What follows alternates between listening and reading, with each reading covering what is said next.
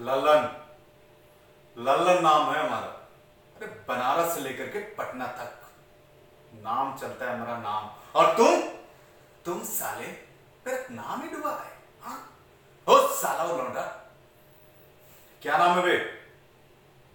अजय। उसके हाथों पिट कर गए तू हम्म? और ऊपर से चाहता है कि हम तुमको माफ़ कर दें। नहीं। ललन सब कुछ बर्दाश्त कर सकता पर भगोड़े को कभी नहीं।